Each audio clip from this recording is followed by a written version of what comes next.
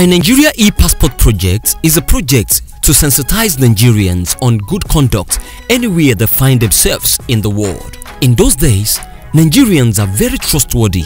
In those days, the white men could absolutely rely on Nigerians. In those days, Nigerians can travel to England and other nations of the world without visa. In those days, Nigerians are so respected because there was peace, love and unity in Nigeria. Anytime the immigration officers around the world sights our Nigeria passport, they give us our due respect. So, what went wrong? How did we find ourselves in this junction where the world calls us names anytime they see that Nigeria identity in our e-passport? Today, our Nigeria passport is no longer respected. Nigerians are treated like criminals.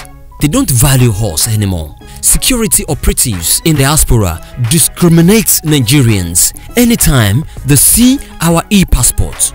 What really happened? They said charity begins at home. Our problem in Nigeria is a foundational issue. We need to talk to ourselves. We need to look at where we've gone wrong. I mean, where did we really get it wrong? We need to look at where we're coming from, where we are, and where we are going to.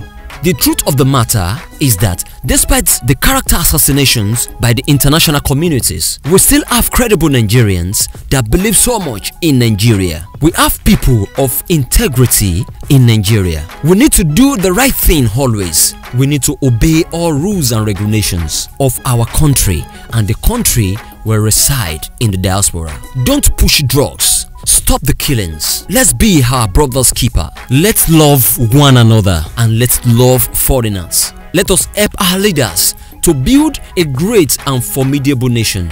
Let us pray for Nigeria and our leaders. Don't commit any crime with your e-passport both home and abroad. In all, let us do the right thing always. I know and I believe that Nigeria will be great again because I believe so much in Nigeria. That is why I value my e-passport. My e-passport is my identity. This message is brought to you by NG ePassport Hub, the initiators of my Nigeria ePassport project, MNEP. Check us on Facebook, My Nigeria ePassport, and on Instagram, My Nigeria e-passport 1. You can also visit our website www.mynigeriaepassportproject.com.ng. Our e-passport must have value again because it's our identity.